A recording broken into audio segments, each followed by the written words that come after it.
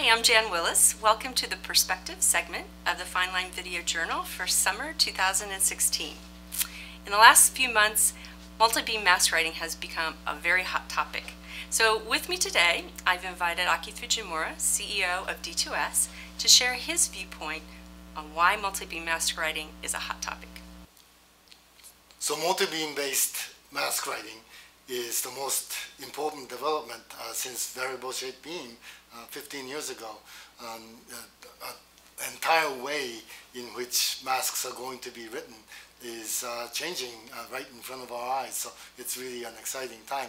And I wanted to talk about why uh, multi-beam is so exciting no matter what's happening with lithography approaches for writing the wafer.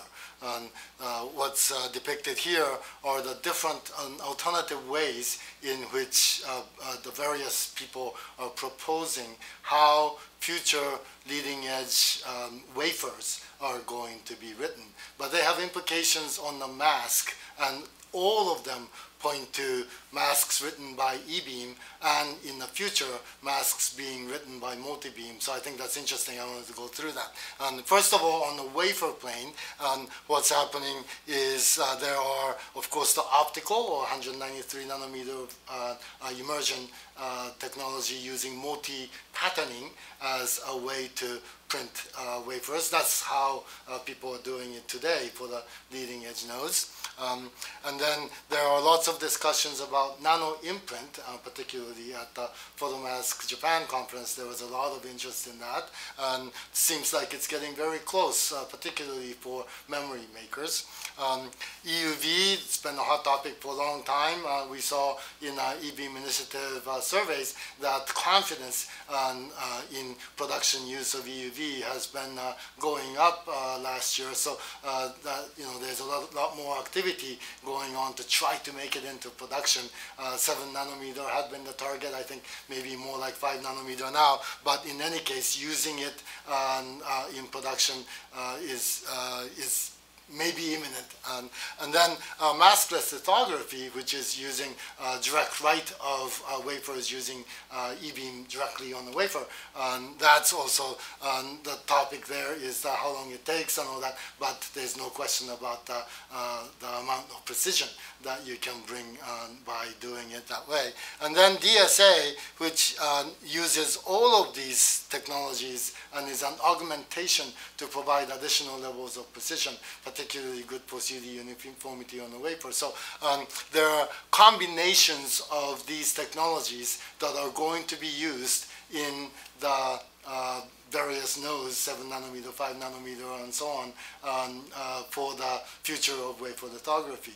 But no matter what happens, um, you know, we don't know which is going to happen exactly, right, which is going to be on time and so on. But no matter what happens, um, one thing that's common is that either the masks or the masters or directly writing the wafer, all of it's done by E-beam, and in particular, that multi-beam based approach for writing these masks, uh, wafers, or masters um, is going to be of benefit um, in the future. So multi-beam is an important technology for everything, and I want to explain that in the next slide. The last slide talked about the wafer plane. This slide is talking about what happens on the mask plane. So um, nano imprint is a one-to-one -one dimension. So it's actually a direct imprint. So um, the masters have to be written at one-to-one -one dimensions to what happens on the wafer. That means if you want 15 nanometer features on the wafer, then what's on the master has to be 15 nanometer. So what you have to print compared to masks like for EUV and 193i, which are four-to-one dimensions typically, um, are much, much smaller. And when you want to write smaller things, uh, you need to use very small, very slow resists. Um, so that uh, uh, you get the resolution that you need. Printability is much higher for slower resist. So um, you need more write time because of that. And because of that, um, uh, multi-beam uh, becomes an important factor.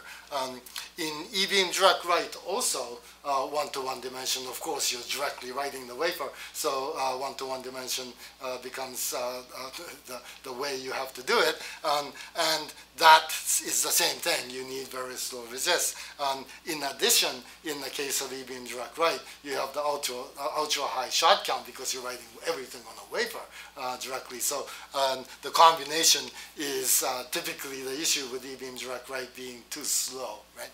Um, in EUV, um, what happens is that uh, because um, approximately 13 nanometer wavelength of light as opposed to 193 nanometer wavelengths of light. So um, uh, what is on the mask more faithfully reproduces on the wafer with EUV. And what that says is that even more so than 193i, where mask precision is incredibly important, in EUV masks, you have to be extra, extra careful.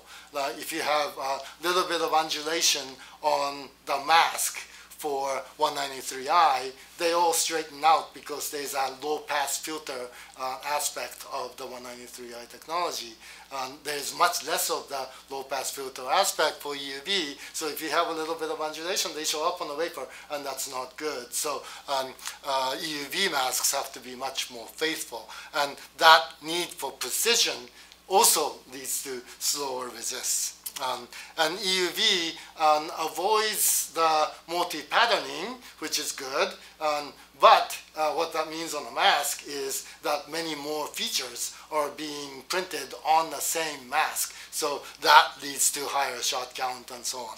Um, 193i is, uh, is what we use today, but in order to go to lower and lower nodes, uh, not only do you have to increase the number of layers or number of masks needed to print a single layer on the wafer, that's multiple patterning, you need to increase that number, but at the same time, you need to increase the precision in which you're writing each one. You need to increase the process window of each one, and you need to get the alignment right and everything else. So um, in general, mask writing becomes more difficult. Not only is there more of it, each one has to be better.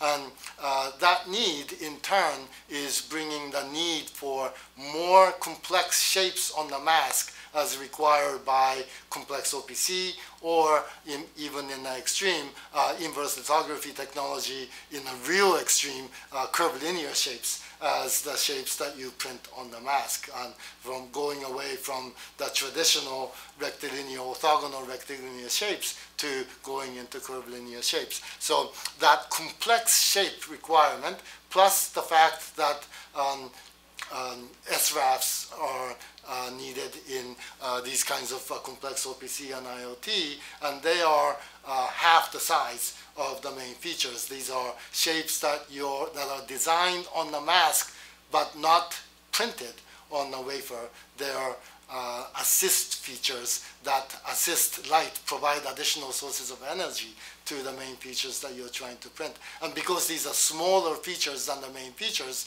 even though the general features are 4 to 1 dimensions, these shapes are less than 2 to 1 dimensions. And, and that combination of um, higher shot count coming from complexity and the smaller shapes that you need uh, because of SRAFs contribute to the additional complexity for 193i masks, which is that dose modulation is required. If you wanted to print all small shapes everywhere, then you can just bias the dose up and you can make them print. But if you have some shapes that are small and some shapes that are bigger, then you need to be able to modulate the dose. So um, dose modulation, higher shot count, slow resist, need for precision, these are all things that uniformly point to multi-beam as a uh, important technology in the future. Now, um, variable shape beam-based writing is going to last a long time, um, but um, the leading edge nodes and some of the leading edge needs in these kinds of technologies, all of these technologies, alternative lithography technologies of the future are going to desire multi-beam based e-beam writing on masks or masters for nanoimprint, or uh, in the case of uh, e-beam direct write, um, writing the wafers directly.